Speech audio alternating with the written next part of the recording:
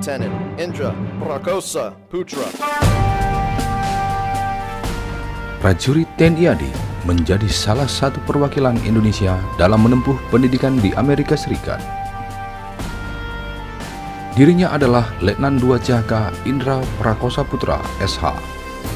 Dia merupakan lulusan SEPA TNI AD tahun 2018. Di usianya yang terbilang muda, telah mendapat kesempatan pertama yang sangat istimewa untuk menempuh pendidikan di negara Paman Sam, yaitu Amerika Serikat. Pendidikan yang ditempuhnya tersebut berada di sekolah yang bernama The George Advocates General Legal Center and School. Jumlah prajurit siswa seluruhnya 97 orang, yang terdiri atas 96 prajurit siswa US Army dan satu prajurit siswa TNI AD.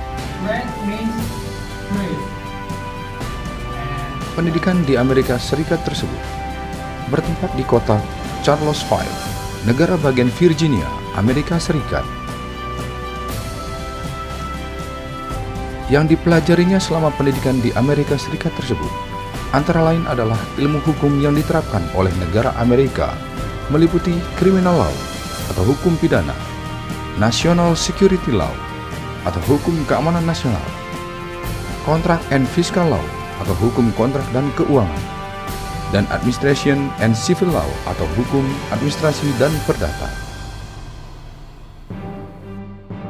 Pendidikan tersebut dijalani selama tiga bulan, di mana siswa di sana disebut sebagai International Military Student atau siswa militer internasional. Di sana Letnan Indra mendapatkan kesempatan untuk memaparkan hal-hal tentang Indonesia secara umum yang meliputi populasi, musim, perbedaan waktu, bahasa nasional, bahasa daerah masing-masing wilayah, sistem hukum pidana di Indonesia, dan makna dari bendera kebangsaan Indonesia yaitu merah putih. Materi yang diperoleh selama pendidikan di Amerika Serikat adalah mengenai sistem peradilan pidana di Amerika Serikat yang sedikit berbeda dengan yang ada di Indonesia.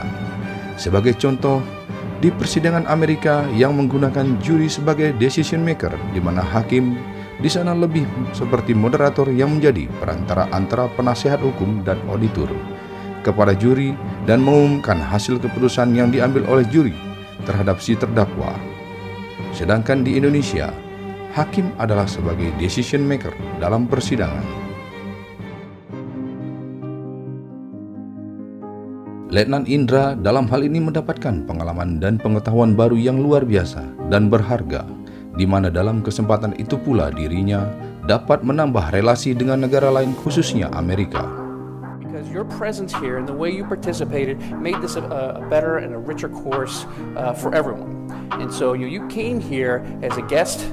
to the regimental home, but you're leaving as part of the family.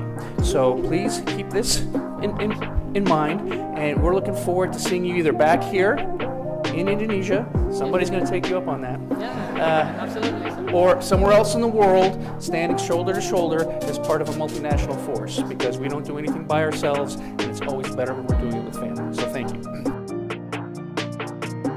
Letnan Indra dalam pergaulannya selama pendidikan tersebut menceritakan bahwa US Army mengungkapkan betapa antusiasnya dengan TNI, khususnya Angkatan Darat.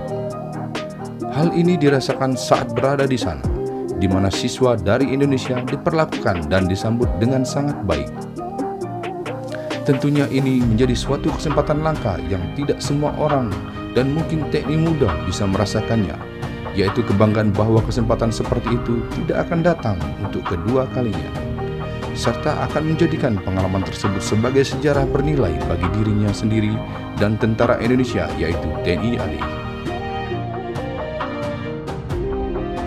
Dirinya juga merasa sangat bangga sekali bisa menjadi representatif Indonesia secara khusus TNI AD.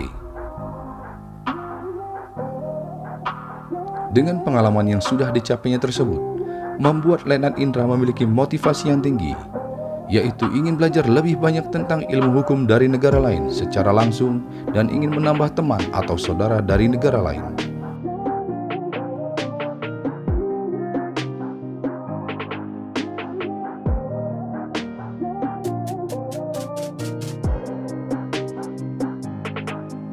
Second Lieutenant Indra Prakosa Putra Dirinya pun sangat berharap hal tersebut dapat menjadi pertimbangan pimpinan dalam mengembangkan pola karir prajurit TNI AD nantinya.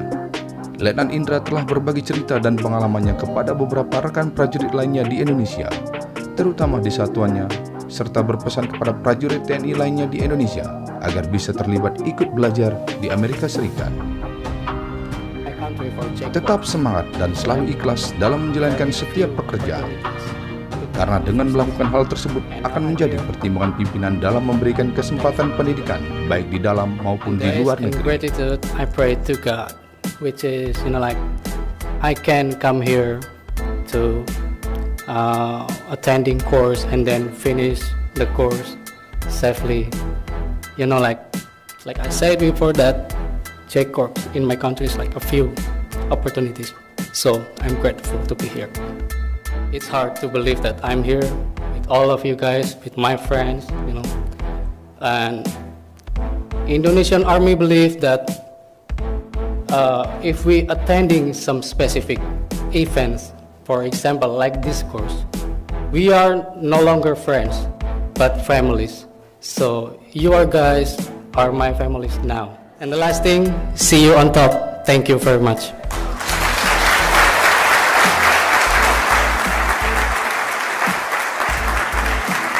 Thank you, Indra. Thank you. You did a good job. Make it this a better class for everybody. So, to, to our you know visiting family and friends, uh, one of them is uh, is the use of a cup um, shared with with family and, and, and friends who were visiting. This is a, a replica of a, a silver cup that was designed in 1810 for that purpose. And Indra, I did want to say thank you because your presence here and the way you participated made this a, a better and a richer course uh, for everyone. And so you, you came here as a guest to the regimental home, but you're leaving as part of the family. So please keep this in, in, in mind, looking forward to seeing you either back here in Indonesia, somebody's going to take you up on that, uh, or somewhere else in the world, standing shoulder to shoulder as part of a multinational force, because we don't do anything by ourselves, and it's always better when we're doing